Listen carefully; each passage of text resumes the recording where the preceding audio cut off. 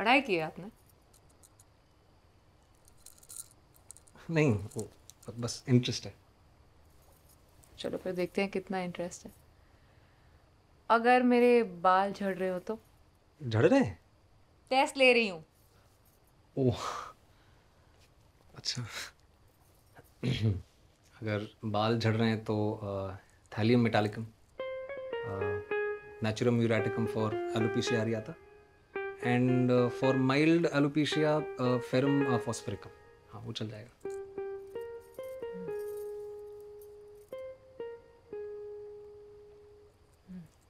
और अगर ज़ोर से दर्द हो रहा हो तो? अगर दिल में दर्द हो रहा है तो चेस्ट में तो कैलियम कार्बोनिकम लेकिन अगर बहुत ज़्यादा है अगर पूरे बदन में खुजली सी मच रही हो तो? एक नया साबुन। माँ हनीमून के बारे में पूछ रही थी। अगले हफ़्ते से बुकिंग है गोवा में। आपने मुझसे पहले कोई लड़की देखी थी शादी के लिए? शादी?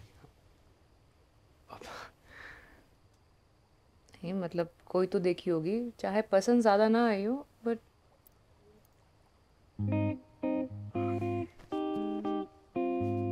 हाँ। मीना नाम की लड़की से मिला था। बहुत सुंदर थी वो। एमए भी कर रखी थी उसने पता है आपको? नहीं। किस सब्जेक्ट में? Home science. तो आपका होम्योपैथी आगे परस्यू करने का इरादा है? भाई वो कहती थी कि अगर कभी लजागनिया इटालियन खाना अगर खाने का मन हो तो वो घर पे भी बना सकती है। हमें तो खाना खाने का बड़ा शौक है। घर पे घर वालों के साथ है। टीवी लगा के आराम से। हाँ वो देखा। बहुत मज़ा आता देखा मैं तो फिर करी क्यों नहीं उससे शादी? बात नहीं बनी ना वहाँ। तो मतलब मैं कॉन्सोलेशन प्राइज हूँ।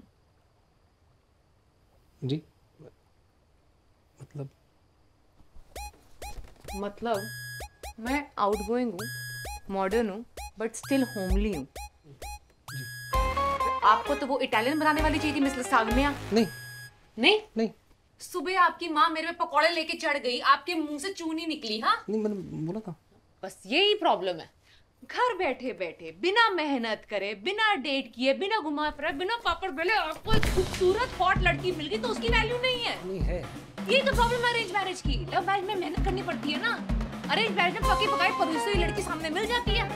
ऊपर से वो तुम्हारे पकोड़े चले। नहीं मत पको मत पकोड़े। हाँ तुम तलो ना पकोड़े आपकी माँ तले पकौड़े। बायोडेटा में लिखना चाहिए तुम्हें बाबा कीजिए सुंदर सुशील लिखती हो तो